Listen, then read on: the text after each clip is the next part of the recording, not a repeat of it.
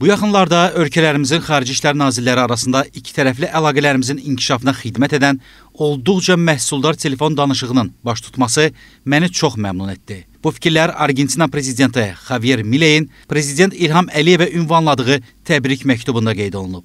Əlaqələrimizin özülünü təşkil edən dostluq və hörmət prinsiplərinə əsaslanaraq ölkələrimizin rifahı naminə qarşılıqlı maraq doğuran sahələrdə ikitərəfli əməkdaşlığımızı və iqtisadi əlaqələrimizi gücləndirmək məqsədi ilə səylə işləməkdə davam edəcəyimi bir daha vurğulamaq istəyirəm.